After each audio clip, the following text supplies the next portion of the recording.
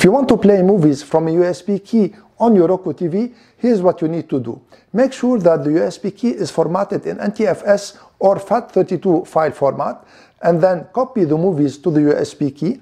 The movies should have an extension of .mp4 or .mkv and then insert the USB key into your Roku TV. After inserting the USB key in the TV, you'll have this screen here and if you choose launch, it will launch the Roku Media Player. If you don't have this screen, on your home screen in Roku TV, choose Roku Media Player